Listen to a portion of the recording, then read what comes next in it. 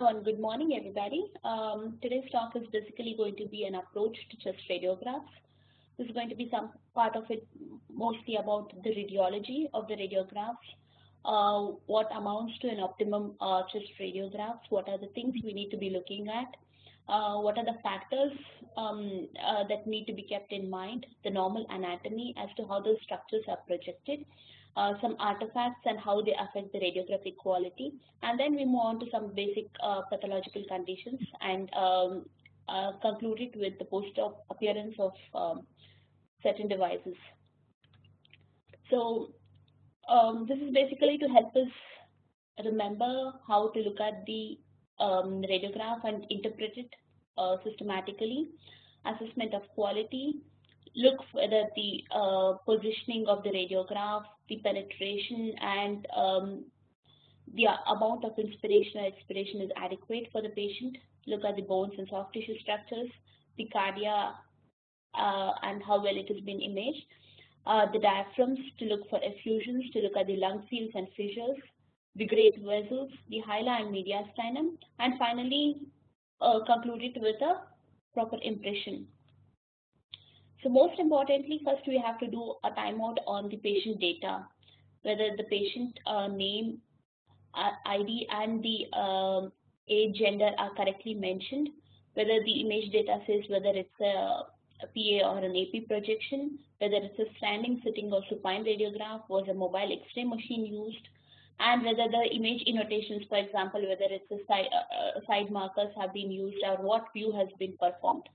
All these details are important because they impact the interpretation of the radiograph and sometimes what may look like cardiomegaly may not be and um, other such implications on the interpretation of the radiograph. Now here is an image demonstrating the same patient who had a, an AP projection taken bedside and this is the proper PA projection which has been performed. So we can obviously see that there's some amount of uh, cardiac magnification which happens because the um, uh, the patient is so much closer to the uh, detector and then the X-ray ma magnification is even mo much more. Also, the edges of the scapula are medially projected, so this part of the lungs laterally tends to get obscured. Also, as we can, uh, as it has been demonstrated here, the cardiothoracic ratio is shown as around 50%. However, on the PA projection, we see that the cardiac silhouette is actually very much within normal limits. The scapulae have been pushed out of the lung views and we are able to see the lungs very well. Also, when we are interpreting the radio, uh, radiographs, it is very important to look at the adequateness of the um, lung fields. The first ribs have to be included within the field of view. We should be able to the lateral edges of all the ribs and the costophrenic angles have to be included within the field of view. So this constitutes a fairly well done um, optimal uh, PHS radiograph. Coming to the effects of expiration and inspiration, when when we take an expiratory phase uh, radiograph, when we take a mid-clavicular line, only the first three anterior ribs are taken. So on expiratory phase radiographs, the lung fields appear somewhat smaller. So we are not able to exclude the lower lung uh, lower lung field disease. So here it appears that there's some amount of haziness in the lower lungs, but when you take an inspiratory phase radiograph in which the first six anterior ribs in the midclavicular line should be uh, countable, and then this clearly shows that there is no consolidation actually here. Now, is the radiograph underpenetrated or well penetrated? Now, how do we assess this? Couple of things to keep in mind. First, we should be able to see the spine silhouette through the cardia. Two, the diaphragmatic line all across till the middle of the spine should be visible. And the spine basically should be visible across the cardia. The lung behind the cardia should be visible. So this is a well penetrated radiograph. An opposite of this can be an over-penetrated radiograph in which everything appears a little blacked out. But with the advantage of the digital radiographs, we'll be able to window it out. So basically, an image check includes rotation. We should see whether the uh, spinous processes are in the center and equidistant from the uh, medial ends of the clavicle. Look for inspiration, whether it is uh, an expiratory or inspiratory uh, phase, also whether it is um, well inspired or hyper uh, hyperinflated lungs. When you're looking at hyperinflated lungs, typically the domes of the diaphragm appear flattened out and we have to look for the penetration. Like I said, we follow the uh, diaphragm to reach all across to the middle of the spine. Now, how do you start reporting the radiograph? if there's an elephant on the radiograph, you begin with that. So the most obvious abnormality needs to be reported first. So some signs that uh, as basic uh, medical students we would have learned is the silhouette sign or rather um, a technically correct uh, term would be loss of silhouette sign. So sometimes you can have lingular disease uh, projecting over the cardia or right lower uh, lung disease projecting over the diaphragm. You can have uh, a paratracheal mass or uh, upper um, upper lobe disease which is projecting in the over the paratracheal spine stripe and of course lower lung disease. So here the silhouette um, uh, with the adjacent structure is lost. So we are not able to see the left cardiac border properly or the uh, diaphragmatic silhouette. Here the pleural uh, um, line appears to be obscured. So whenever there is a lo loss of silhouette, it means that the structure at the interface is the abnormal structure. It could be a, one of the either. Here it could be either the lung or it could be the uh, paratracheal um, mass or lymphadenopathy, for example. Some more examples, for example, the aortic knuckle can have loss of silhouette which may be contributed by either LCP mediastinal mass or uh, right uh, left upper lobe uh, lung disease. Here's a fissural abnormality. Here the uh, right heart uh, border is obscured by what appears to be right middle lobe consolidation.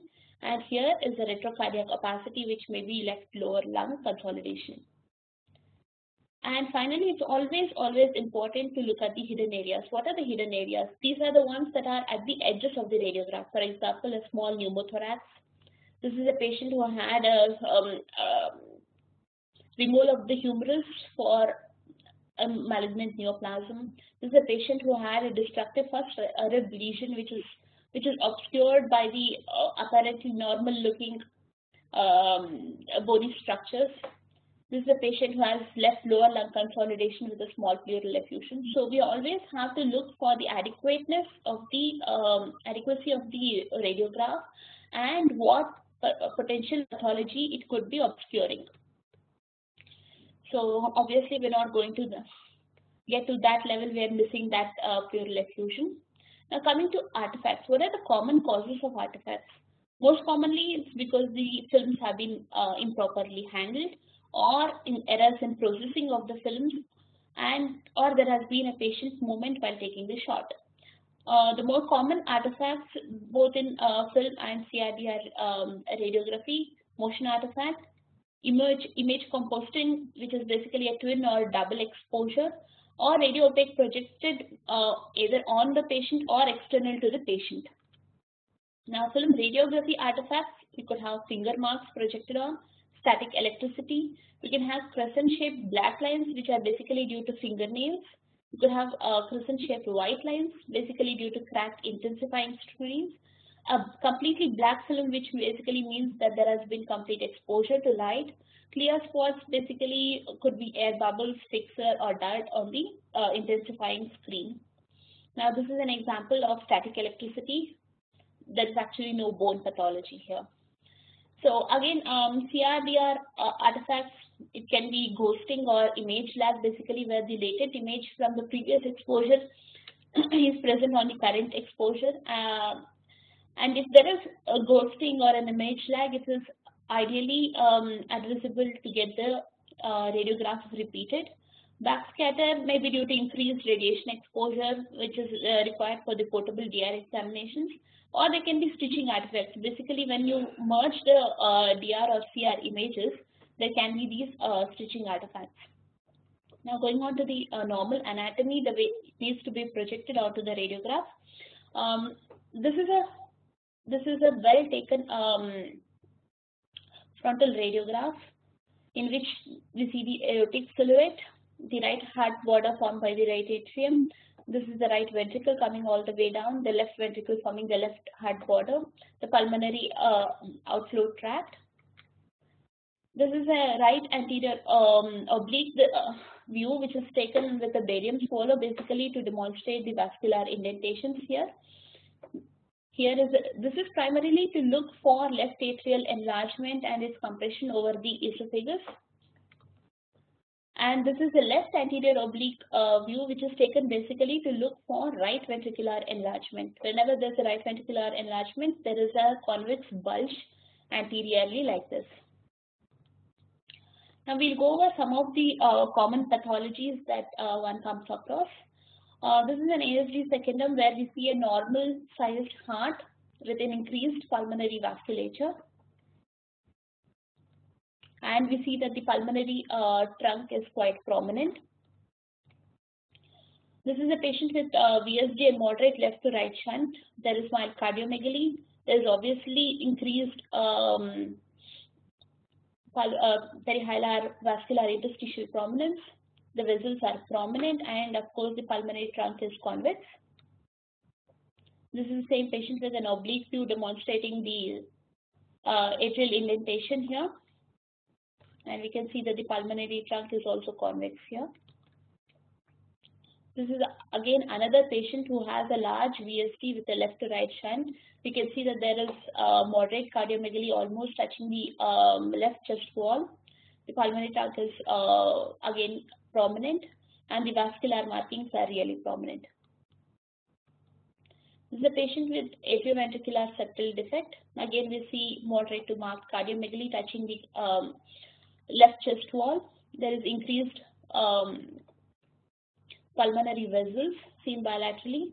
Uh, we also see that there is a hyperlucency in the right mid lung and in the left lower lung. This is basically due to air trapping. Here's a patient with corrected transposition or ventricular inversion.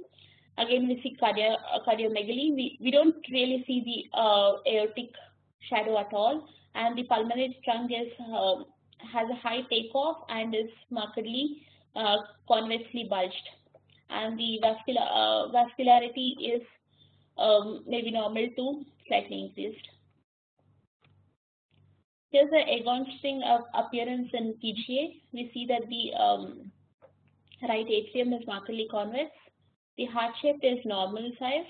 There's stress-induced uh, thymic um, atrophy, which causes the superior mediastinum to be look a little pinched.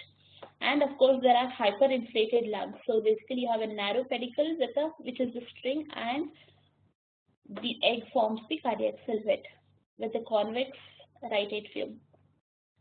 This is the truncus arteriosus. Again, we see cardiomegaly, prominent um, pulmonary uh, outflow tract, and markedly decreased pulmonary vasculature in a young patient.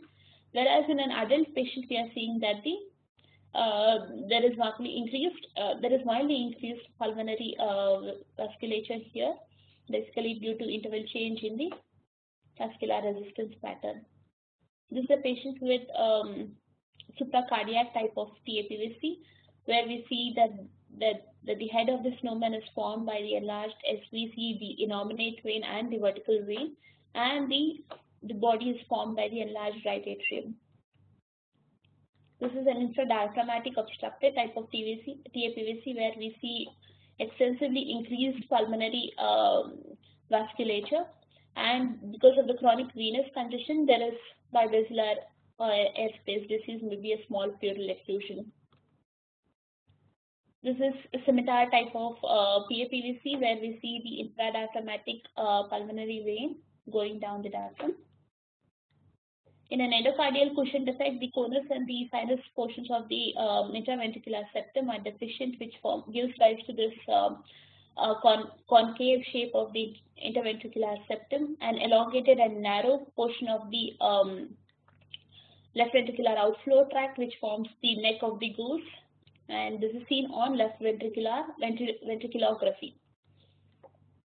This is a case of uh, tetralogy of Fallot where we see the uh, right ventricular hypertrophy, which uh, uplifts the uh, ventricular left ventricular apex, and the pulmonary shadow is markedly concave.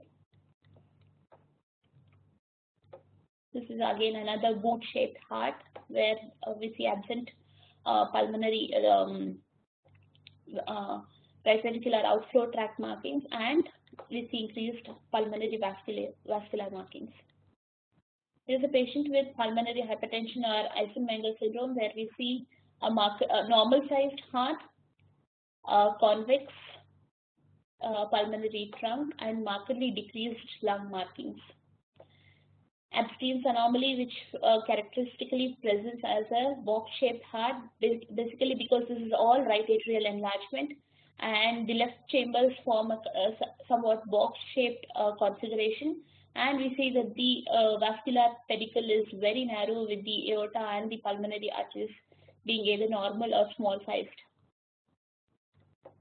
This is a case of aortic uh, forming, giving rise to the figure of three sign where the dilated um, subclavian and the proximal aorta pro, uh, are proximal uh, form the convexity of the upper three and the di poststenotic dilatation gives rise to the uh, inferior aspect of the three and the cork itself is the pinch that gives rise to the um, indentation of three that we see here. Again, the same thing seen on an oblique view here forms the reverse uh, configuration of three sign here. This is again aortic valvular stenosis where we are seeing uh, moderate cardiomegaly with the uh, atrial indentation seen on the um, barium swallow.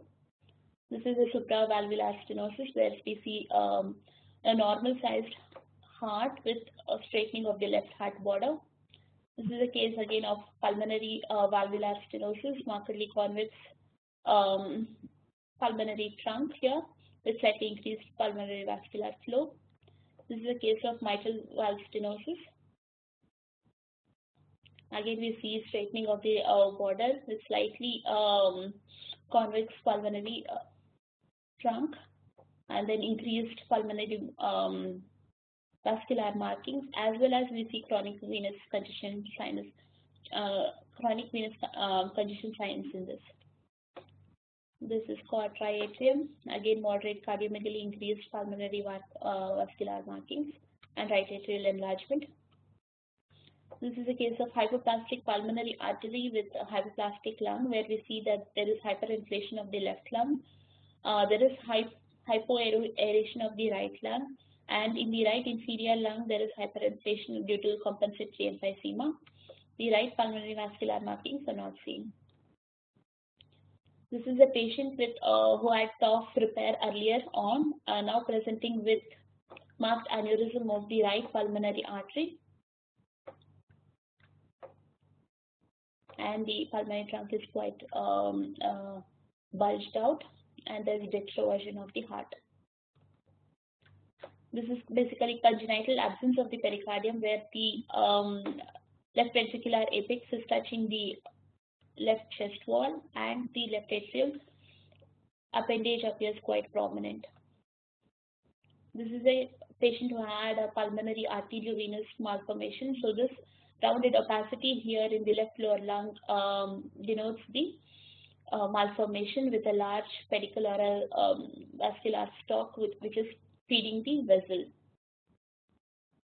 This is basically a case of congenital left ventricular diverticulum, uh, where we see that the left the left uh, heart margin appears somewhat abruptly cut off because of the diverticulum. Now we look at some of the post-operative conditions and how they um, look on the radiographs. Here's here's how the aortic valve uh, prosthesis appears. This is the same uh, Law's prosthesis.